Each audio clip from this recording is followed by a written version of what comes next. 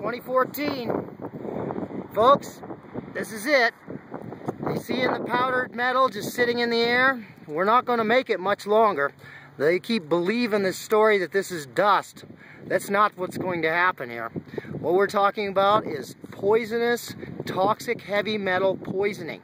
So far, everyone we've tested in Tucson, Arizona has rated out with such a poisonous aluminum rating. And take a look at this, folks. This is it. This is, this is real near the end. They're now seeing this dust across the United States of America. Almost 50 states, they have experienced some of this, this